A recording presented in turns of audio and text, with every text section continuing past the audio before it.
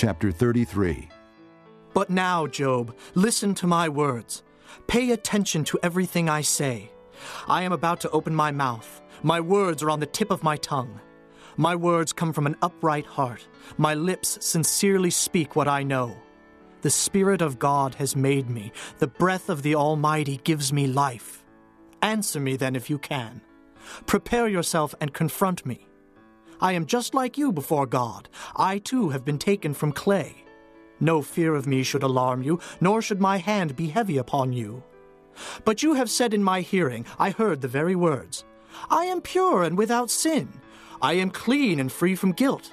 Yet God has found fault with me. He considers me his enemy. He fastens my feet in shackles. He keeps close watch on all my paths.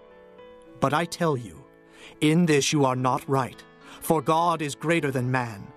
Why do you complain to him that he answers none of man's words? For God does speak, now one way, now another, though man may not perceive it.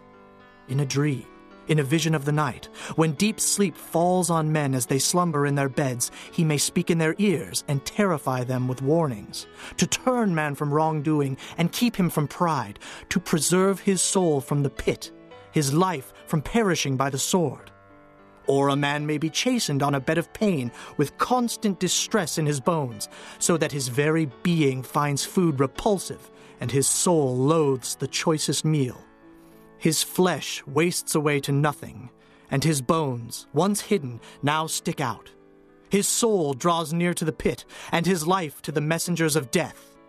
Yet if there is an angel on his side as a mediator, one out of a thousand, to tell a man what is right for him, to be gracious to him and say, Spare him from going down to the pit.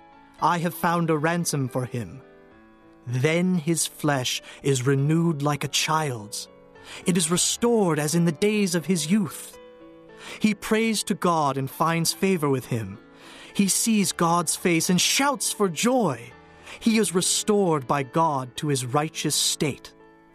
Then he comes to men and says, I sinned and perverted what was right, but I did not get what I deserved.